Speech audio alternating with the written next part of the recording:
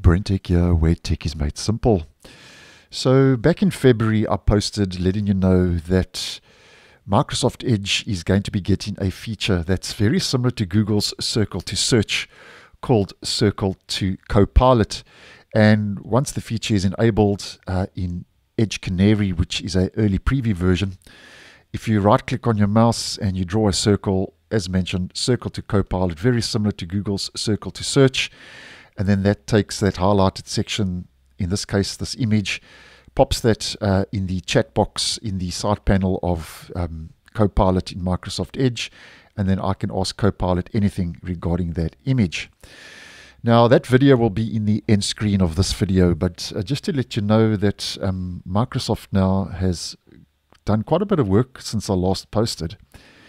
And uh, in Edge Canary 124, the latest preview version, there's now a new animation when using the keyboard shortcut uh, to open Circle to Copilot. So just to demonstrate, if we just pop over quickly into our settings and we navigate to our appearance page, and if we scroll almost down to the bottom of the appearance page, here we get um, Circle to Copilot.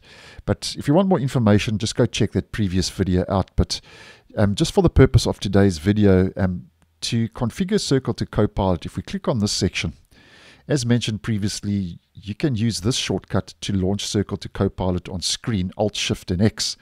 Now, just to let you know that when we use Alt, Shift, and X now, there's a new animation that moves from the bottom of the screen to the top when you open Circle to Copilot with this keyboard shortcut. So just to demonstrate, Alt, Shift, and X.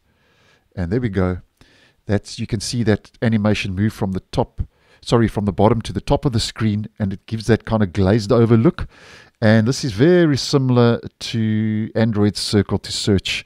So obviously, um, Microsoft trying to take a so-called feather out of, of out of Google's book with this new feature. And then, as I've mentioned previously, you can um, with your mouse now, you can highlight any portion of your screen uh, in Microsoft Edge. And since I posted regarding this shortcut Alt Shift and X previously, we can see they've done a bit of work on this. Um, there's more rounded corners with uh, the corners highlighted and it's taken on a more kind of modern look and feel. So there's been a bit of work on this, and then you can X out of that. You can copy. You can search image with Bing.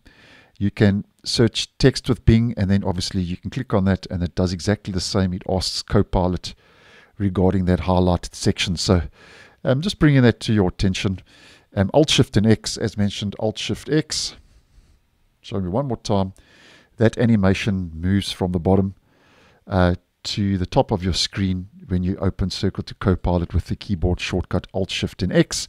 And um, personally, I do feel that this is a feature that uh, Microsoft will roll out to the stable version. They are giving it a lot of work uh, in the preview builds, so and the preview versions of um, Microsoft Edge. So I personally do think that this Circle to Copilot will eventually make its way into the stable version. And when that does, like always, and if I get more info regarding this feature, I'll keep you in the loop if you would be interested. So thanks for watching, and I'll see you in the next one.